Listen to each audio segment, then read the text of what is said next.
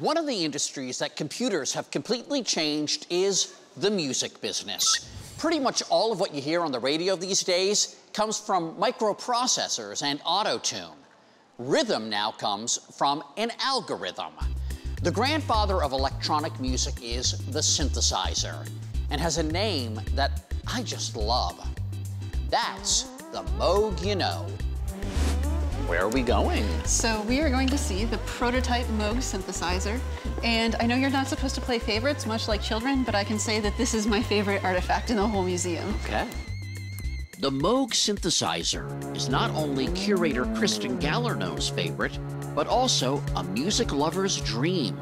How important is the Moog synthesizer to the history of music? It is an absolute milestone. It's undeniable. Wherever you hear synthesized sounds, chances are it's coming from a Moog synthesizer or, or something from its legacy. Moog. Is Moog a who or a what?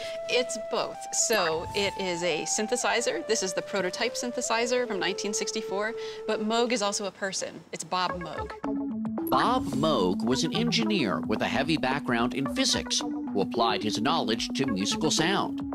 A man by the name of Herb Deutsch was a musician, composer, and educator at Hofstra University in New York and had a progressive mind for music. Together, the two men would create something brand new that would usher electronic music into the future and into the mainstream. A synthesizer, is it just basically an electronic piano or more than that? You can think of it as that. The thing with the synthesizer is that you can really change settings to make different sounds. So you can make it sound like a violin, you can make it sound like a flute, like a bass. The potential there of the sonic palette is impossibly large. And the Moog synthesizer is special because it has these modules that allow you to shape the sounds in ways that was never possible before. The Moog synthesizer was preceded in the world of electronic music by the theremin.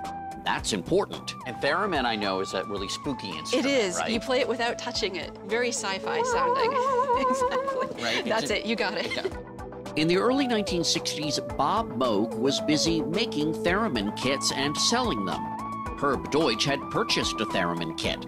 Then, chance would bring the two men together at a music educators conference. Herb Deutsch saw an opportunity.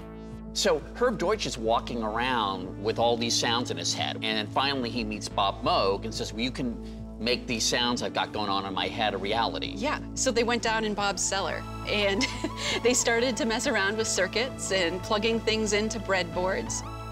The Moog prototype has descendants too, the Mini Moog.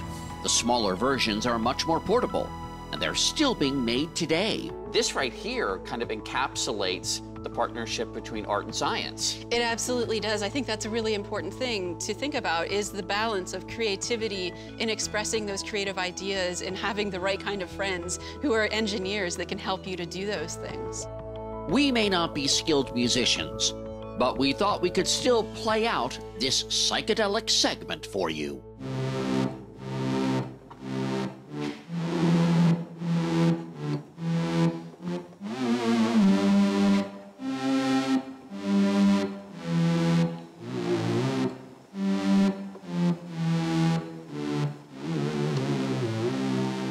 That's quite a boat ride.